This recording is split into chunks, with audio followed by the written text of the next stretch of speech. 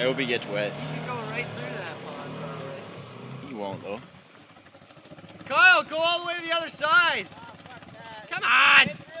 That thing paws water like nothing. You're already. There's grass growing there. It's like the shallowest part of the over there, pond. just pin it. Then you probably walk out.